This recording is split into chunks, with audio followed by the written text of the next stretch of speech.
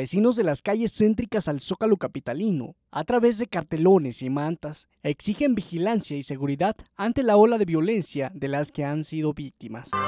Somos unos vecinos de la calle Quicotenga de Hidalgo y queremos hacer una manifestación pacífica en relación al grado de inseguridad que vive en estas calles, que nos preocupa por nuestras familias y por, también los negocios, que hay muchos negocios de hoteles este, dentro de estas calles.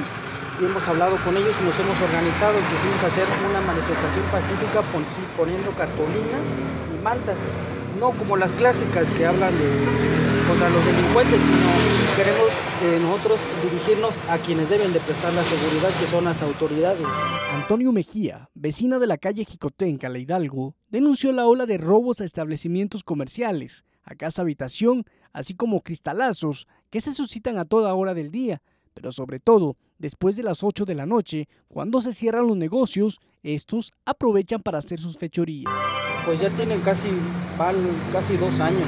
Hay mucho, mucho cristalean los carros y se han metido a varios este, negocios de establecimientos, porque la mayoría, aquí, aquí casi ya no vive mucha gente, sino hay muchos negocios y poca gente es la que vive. Yo creo que también eso, como después de las 8 de la noche que cierran todos los negocios, entonces ya, ya se quedan muy solas las calles, entonces da pie a que haya más, este, más asaltos.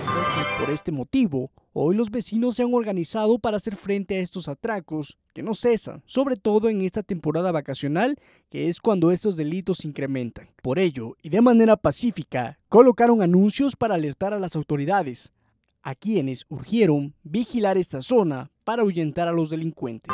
Incluso por, estamos viendo también la posibilidad de que quitaran el semáforo de la esquina, porque está pegado a la pared de mi casa y, se subieron por ahí, subieron como escalera ahí el, semáforo. Y pues mi familia tiene viviendo aquí más de 40 años, nunca se habían subido, siempre había estado igual y nunca se habían subido hasta hace menos de seis meses que se subieron y se robaron algunas cosas de, ahí que tengo en, mi, casa. Entonces por eso también puse muchas protecciones para porque ya no se pudieran meter.